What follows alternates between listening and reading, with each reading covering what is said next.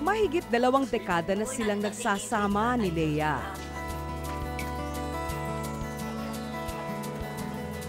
Nagbunga ng dalawa ang kanilang pagsasama. Nasa grade 11 na ang panganay na si Brianna. Habang nasa grade 8 naman, si Ramses. Nakilala ko si Lea nung nagtatrabaho na ako sa popcorn tsaka sa handicraft. Nakikita rin siya dati dito sa may basketball namin. Dito lang siya nakikitulog dahil hindi nga siya matanggap ng magulang niya na siya, siya bading.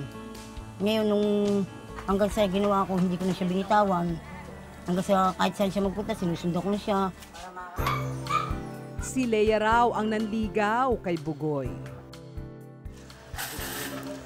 Hanggang sa nangyari ang hindi nila parehong inaasahan. Nag-inuman kami hanggang sa bini, nalasing kami hanggang sa nag-inuman uli. May hanggang sa may nangyari. Na disgrasya, na buntis. Sinubukang takasan ni Bugoy ang responsibilidad. Kasi nung nalaman kong buntis yan, ako yung umiyak. Kasi nga hindi ko alam kung ano sasabihin ng mga tao kasi nga bakla yan, tapos magkakanak. Pero si Bugoy, di kalaunan, nagpakalalaki sa harap ng problema. Pumunta ako sa Pampanga para mag, magperya. Kaya ako sasan din ako nap- napadpad ng perya sa Pampanga at Bataan. Hanggang sa umuwi ako, pitong buwan na hindi kami nagkikita. Pag uwi ko, malaki na yung tiyan niya.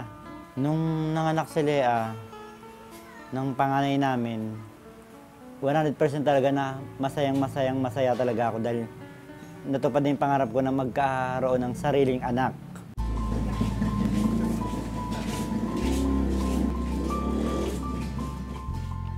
Para kay Bugoy, biyaya ang kanyang pamilya. Hindi kasi tanggap ng kanyang ama ang pagiging bakla niya. Alam ko sa sarili ko na may pagkabakla ko na inililihim ko sa tatay ko na ikagagalit niya pag nalaman. Kasi nga ayaw niya ng bakla at isa pa sumunod ako sa pangalan niya Junior. Kaya hanggat maaari ayaw niya talaga ng bakla. Nang ipanganak ang kanyang panganay, nagkaayos sila ng kanyang ama. Nung nagkaroon ako ng anak, tuwan-tuwa yung tatay ko. Hanggang sa tinanggap niya na ako kasi unang apo niya yan eh. Bagamat halos limang dekada na sa kanilang lugar, hindi pa rin maiwasan ng pamilya ang makarinig ng pangungutya mula sa ibang tao.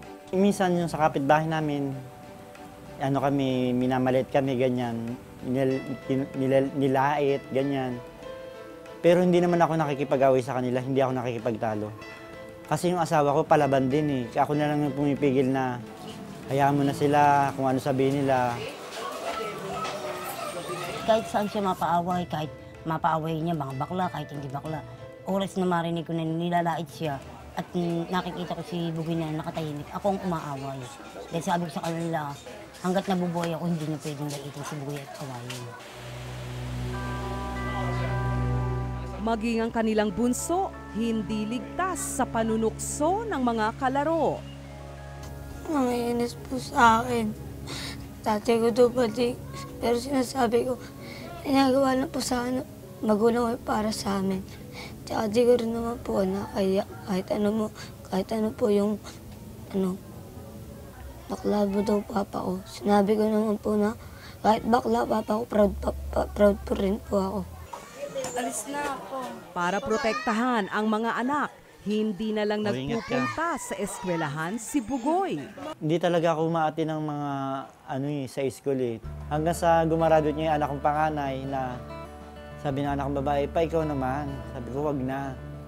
Hanggang sa yun nga, nilakas ako na lang yung loob ko. Ako na lang yung sumama sa kanya. Ayun, yun lang ang kauna-unahan kong akit sa intabla sa stage ng graduate ng anak ko nung nakaratong nakarang taon. Masaya-masaya kasi alam mo, bihira na rin na makapagpaaral ka ng, ng anak na ganun ang hanap buhay.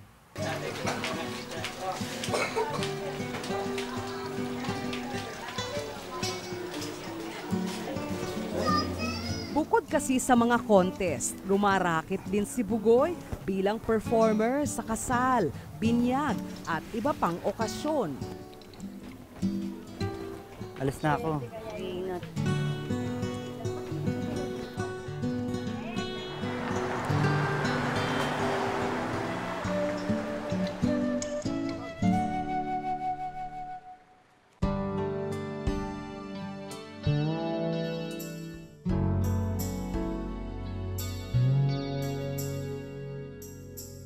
Let's have on the floor right now ang napakaganda mga kaibigan. Here she is, the one and only for the second time around. Please give it up for Neng Bagsig.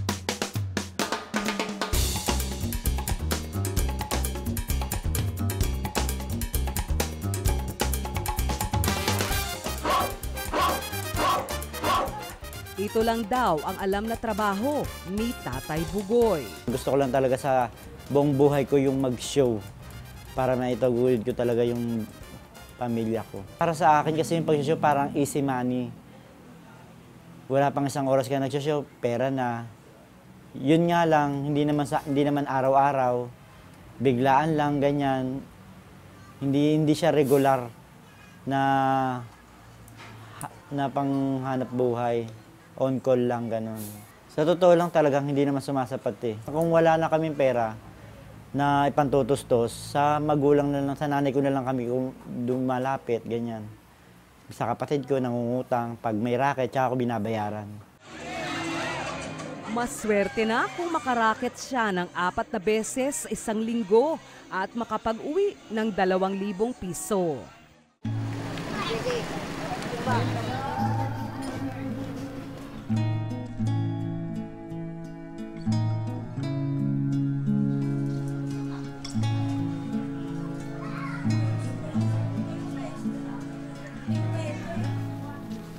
O, ito yung akin ito sa kasal. Sabi ka sa pambaon. Salamat. Tsaka bili ka ng bigas. Tanggap si Bugoy ng kanyang pamilya. Para sa kanila, hindi kabawasan ang kasarian ng haligi ng tahanan. Hindi po importante sa akin kahit ano. Kahit bakla siya, ganyan. Yun, mahal ko po si Papa. Ano po siya, pinakamagaling po tsaka pinaka ano, maano po sa amin. Ayun. Mahal na mahal po namin si Papa. Mahal na mahal ko po siya kahit, kahit sa school po, pinapatawag po siya, ano. Din, pupunta siya kahit kinakaya niya. Kinakaya ko po siya. Pero okay lang po sa akin yun. Kahit inisip po ako ng mga classmate ko, bakla po papa ko. Tatanggapin ko po dahil ito naman po. Tsaka proud rin po ako sa papa ko.